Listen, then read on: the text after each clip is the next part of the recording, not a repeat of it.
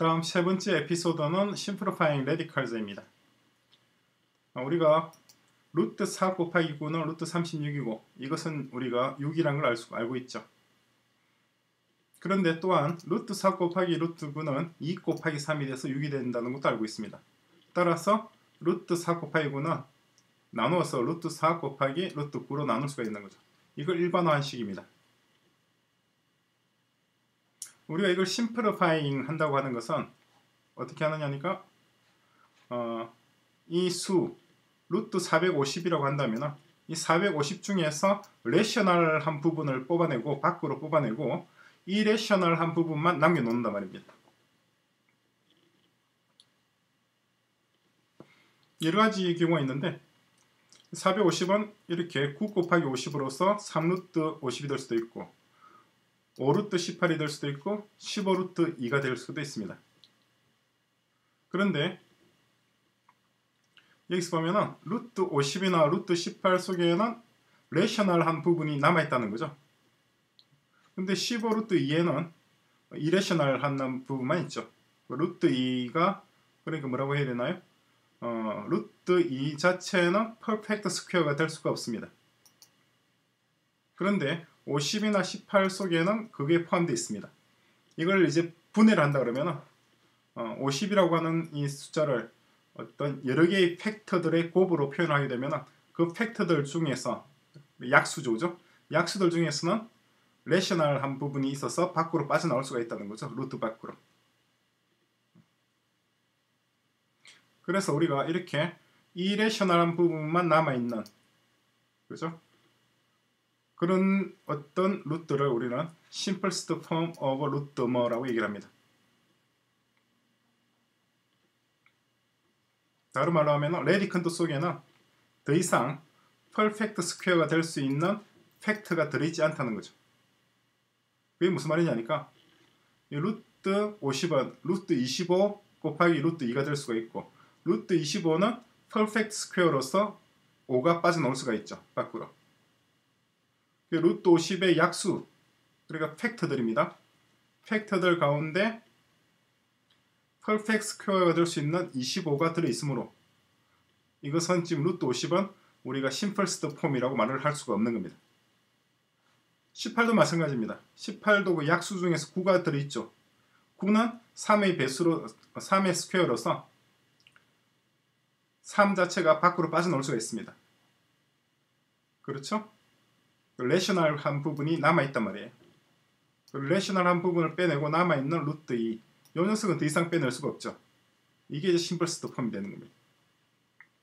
simplest form과 그렇지 않은 form의 차이점이라고 한다면 루트에서 Radical에서 어떤 수의 약수들 가운데 루트 밖으로 빠져나올 수 있는 부분이 있느냐 없느냐의 차이점입니다. 루트 밖으로 빠져나올 수 있는 것이 없으면 이제 simplest form이 된 거죠.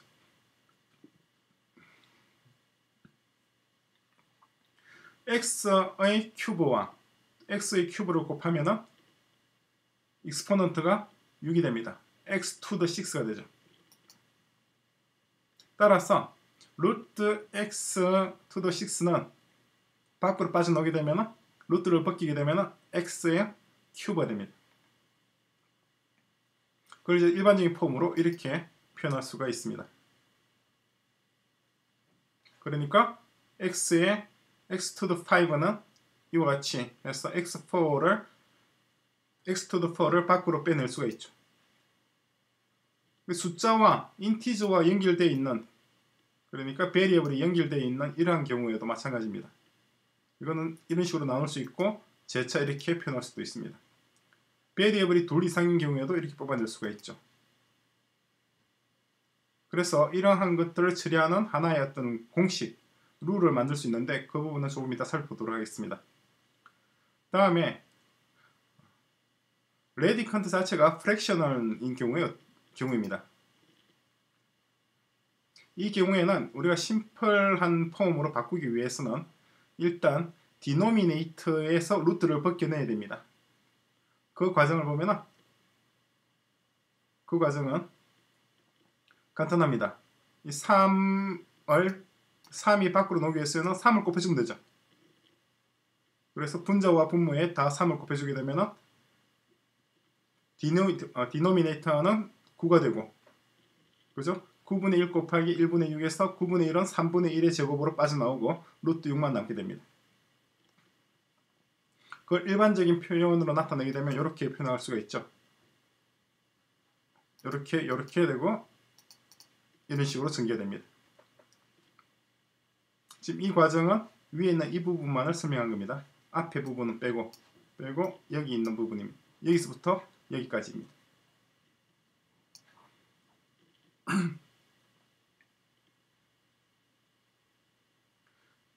그러니까 A가 이제 네거티브가 아니고 그리고 C가 파지티브인 경우에 이것은 이렇게 표현될 수가 있는 거죠. 무슨 말이냐니까 루트 C분의 A는 C분의 1 곱하기 1분의 A이고 이 녀석은 우리가 앞에서 이렇게 둘로 나눠줄 수 있다는 걸 알았죠. 그죠? 알았으니까 이것은 어떻게 되나요? 루트 C분의 1이고 이것은 루트 A죠. 따라서 루트 C분의 루트 A가 됩니다. 이것이 루트 속에 fraction이 있는 것이 두 개의 루트로 나눠질 수 있는 것을 증명하는 거죠.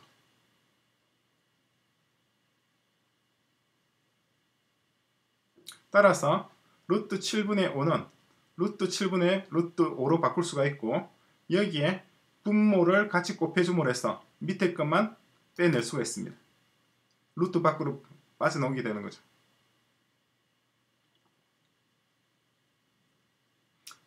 일반적인 식으로 표현하면 이렇게 됩니다.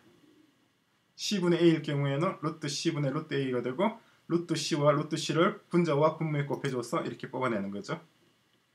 연습 문제를 보겠습니다. 이 각각을 A와 B와 C를 가장 심플스트한 폼으로 바꾸는 방식입니다. 방금 우리가 공부했던 내용을 따라서 지금 같은 경우 루트 9와 루트 8로 나눌 수 있겠죠. 분자와 분모를. 루트 9는 3이 될 거고 루트 8은 2루트 2가 되겠죠. 왜냐하면 루트 8은 simplest form이 아니잖아요. 그죠? 8 속에는 8 속에는 루트 밖으로 빠져나올 수 있는 factor가 들어있는 거죠. 4. 4가 들어있죠. 그 4를 밖으로 빼내고 2만 남겨놓는 것입니다. 5분의 4도 마찬가지입니다. 지금 같은 경우에는 둘 다 분모와 분자의 루트 5를 곱해줌으로 해서 5를 분모인 5를 루트 밖으로 빼낼 수가 있죠. 이 경우에는 어떻게 되나요? 이 경우에는 8이 있고 3이 있는데 루트 8은 2루트 2가 되고 3은 루트 3이 됩니다. 2루트 2에 루트 2를 곱해주면 2 곱하기 2가 돼서 4가 될 것이고 루트 3에 루트 1을 곱해주면 루트 6이 되겠죠. 따라서 4분의 루트 6과 같은 형식이 될 겁니다.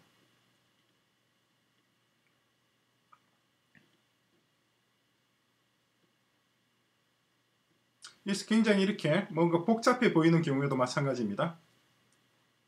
보면 앞에는 인티저가 있고 뒤에는 이제 베리어블이 있습니다. 분자도 그렇고 분모도 그렇죠. 이 경우 각각 처리해주면 됩니다. 8은 2루트 2가 될 거고 b의 세제곱이 빠져나오려면 어떻게 해주면 될까요? b to the 4로 만들어주면 되죠. 그렇죠?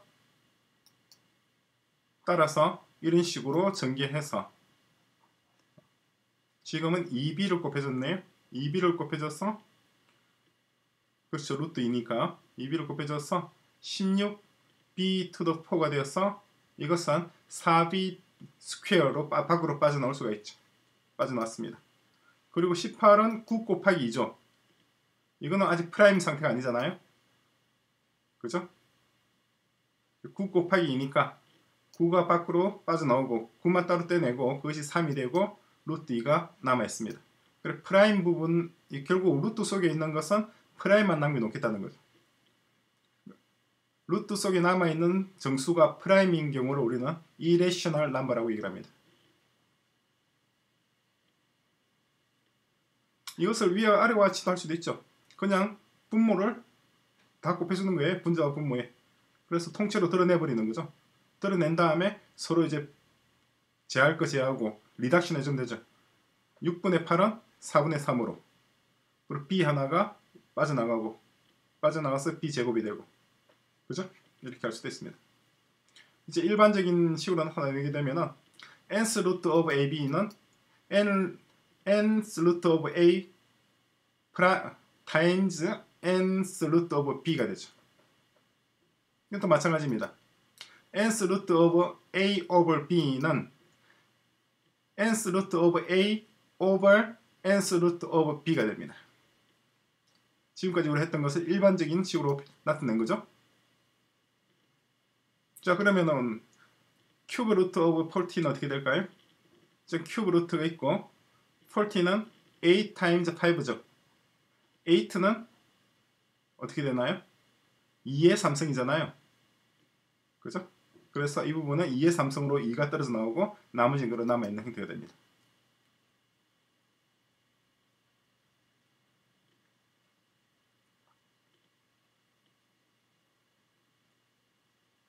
인덱스 그죠? 인덱스 n이 이게 이런 형식으로 이제 우리 표현했었죠. nth root of a to the k로 표현됐잖아요. 이때 k가 n에 의해서 나눠줄 수 있으면은 이것은 rational number가 됩니다. 무슨 말이냐니까 지금 인덱스가 3이고 exponent가 6이잖아요. 6은 3으로 나눠지죠. 2로 나눠지잖아요. 그래서 a 스퀘어로 빠져나오게 됩니다. 이거는 rational한 number죠. 그죠? 마찬가지 4로 나누면은 3이 되잖아요. 따라서 b의 3승으로 rational한 number로 빠져나오게 됩니다. 이것은 1승이 되고 따라서 n과 그 인덱스와 익스포넌트가 n 대 an의 관계일 경우에는 x의 x의 a성 즉 x to the to x to the a 형식으로 빠져나오게 되는 거죠.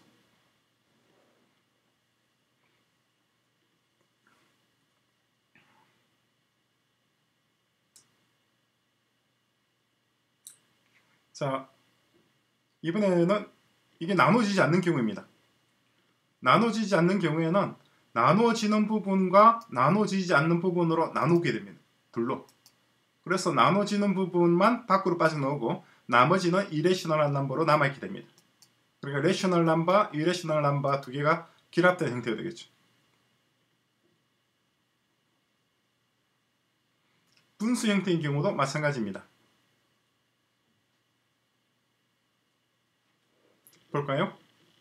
이번에 false root of 분수가 들어있죠. 1 over 2입니다.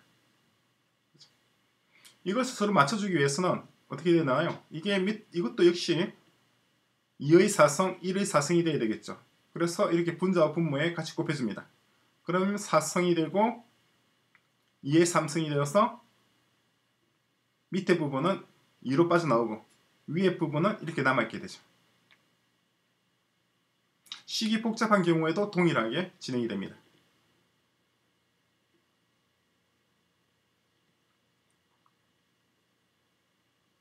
자, 예제를 같이 보겠습니다. 마찬가지로 이런, 이러한 것들을 가장 심플스트한 레디칼 폼으로 바꿔주라. 48은 어떻게 되죠? 48은 16 곱하기 3이고 16은 4의 제곱이죠. 따라서 4가 빠져나오고 나머지 prime number인 3만 남아있게 되죠. 그러면 rational한 부분은 외부로 나오고 irrational한 부분이 안에 있는 이런 형태로 구성이 될 수가 있습니다. 이게 가장 simplest한 form이 되는 거죠. 두 번째 경우도 마찬가지입니다. 20은 4 곱하기 5가 되죠. 그리고 음 그러기보다는 그냥 20b를 곱해줘 버리는 게 제일 낫겠네요. 20b를 밑에도 곱해주고 위에도 곱해주고 그래서 밑에 거 떨어져 나오고 위에 거 남아있고 위에 남아있는 것을 정리해 나가면 되겠죠. 그런 다음에 reduction 해주면 됩니다. 분자와 분모. 이것도 마찬가지죠. 54는 3의 3성 27 곱하기 2죠. 그러니까 27 곱하기 2로 만든 다음에 그 부분은 3승이 되어서 빠져나오고 27은 빠져나오고 곱하기 2, 이 부분은 남아 루트 2로 남아 있을 겁니다. 그리고 8은 3으로 나누면은 6이 y의 6성이 y의 삼성 형식으로 빠져나오고 y의 제곱만 남아있게 되겠죠. 그러한 과정에 설명하고 있는 것이 밑에 있는 내용들입니다.